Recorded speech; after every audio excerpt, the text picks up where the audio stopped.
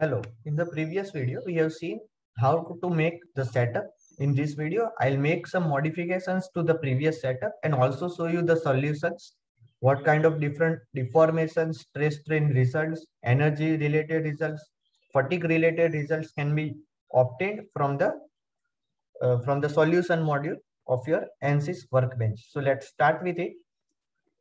So in the same module where you have made the model, or setup or solution or results. All the things things are related to same interface which is ANSYS mechanical interface. So in the previous video we had some different boundary conditions such as acceleration displacement fixed support pressure or force etc so i'm just going to modify those and make some realistic boundary conditions for our solution to run. So let's suppress acceleration. I'm going to suppress displacement fixed support so let's see how can I modify fixed support.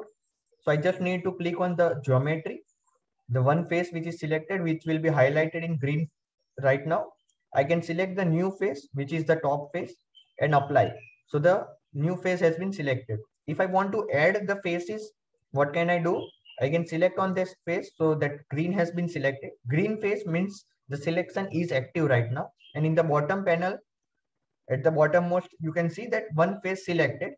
So that selection active selection can be shown over here. If i want to have multiple selections made i just need to press control and then select multiple faces. So i can click on this face this face and now the three face has been selected. If i click on apply they'll apply on the three faces. Let's again go to that same same one face and apply. Then if i want to apply a pressure i i want to apply the pressure on the opposite face. So let's select this face and click on apply. And the surface effect has been selected. The components uh, is not required. So I want apply a normal pressure and fix this face. So that is the most simplistic um, simulation you can do. And the, the force application is 5000 Pascal or 5 kilopascal. So you know this is very small force, but let's go with go ahead with it.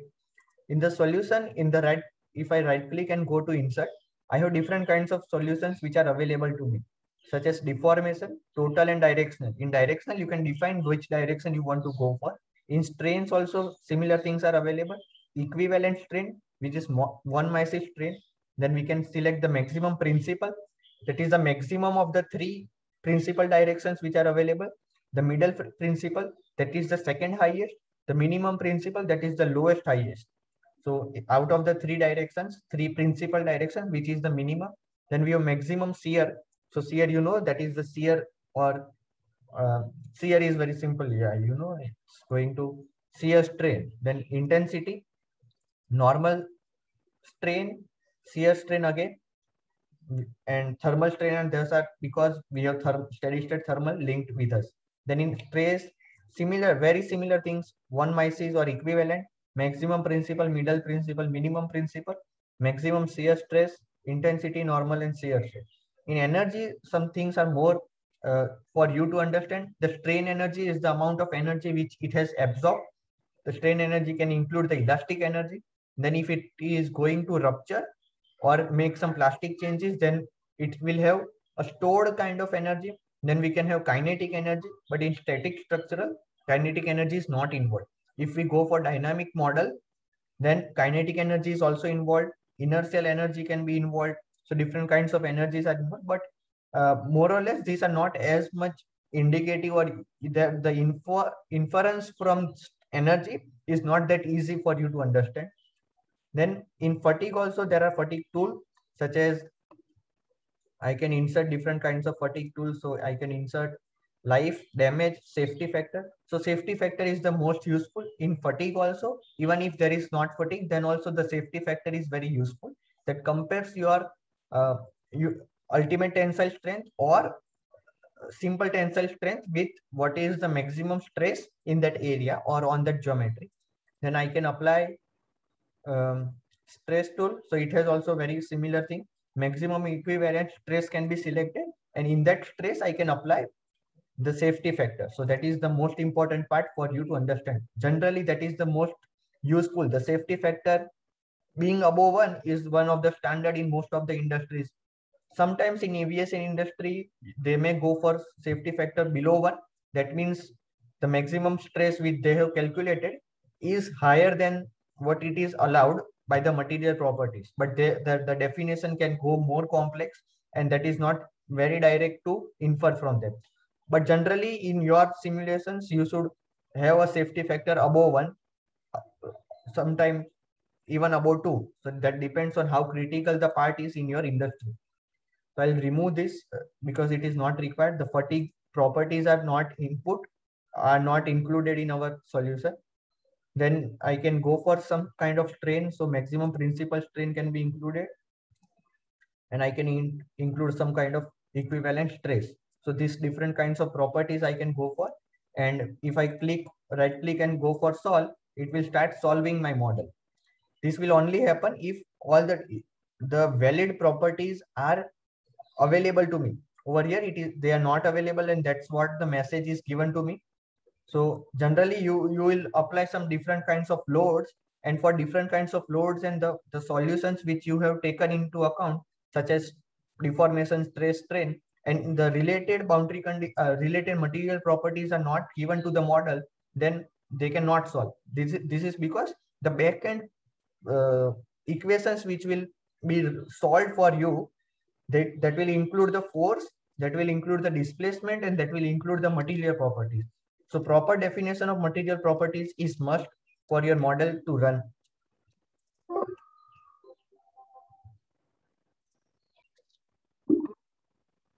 So we have encountered an error right now. It says that updated model uses different length units. So we just need to ensure that the length units are proper and consistent from our geometry file to our model file. So what can we do is in the model, you go to the model and then come on the below panel. And over there, you will have an option to select the unit. So select metric mm unit. So that was what defined in your uh, over here in the units also. So from there to what you have in the model to what you have in the geometry should be consistent. And then you can also see the other error. That was the error because of the material properties. So now if I go to solve, it will solve because the material properties are now defined completely. So let's see, it has started solving and you can click on this to show the progress.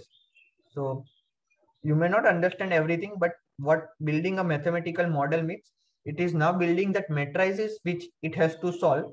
Building that matrices means the matrices will contain the, the, the forces, the displacement, strains, energies, and it will contain the material properties. So it has evaluated my uh, solution.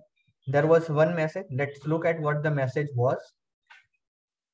It has it has said that still the different length units are used, but it has still solved. So it was just a warning for me. It is not an error. So the solution has run and I can look at the equivalent stress contours. So this is how the stress has been di distributed over my geometry. So we can see that the maximum is over there because I had applied my force or the pressure on that face and the fixed support was on the opposite face. Then we can see, look at the safety factor. So it has given me the safety factor of 15. What does that mean? The maximum is 15 and it is 15 everywhere.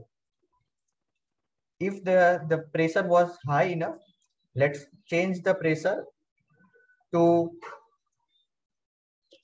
to 5 megapascal. Now the safety factor should reduce expectedly. So let's click on solve again. It will again solve my problem. So now you can see that the things are very much easy for you to modify. So the stress would definitely change. The maximum stress is now 9. The units are megapascal. The minimum is 0.2. The distribution can also be seen easily and the safety factor is still 15. So that will be dependent on what material properties you have. If the material properties maximum tensile strength is 15 times more than what is the maximum stress we have, then it will obviously show you that it is maximum. The safety factor maximum is 50. they, they'll not show what is the, the higher safety factor. If there is 16, 17, it will obviously show 15 everywhere. If I change it to 500, 500 megapascal of force of pressure, then the safety factor can reduce. So let's look at that.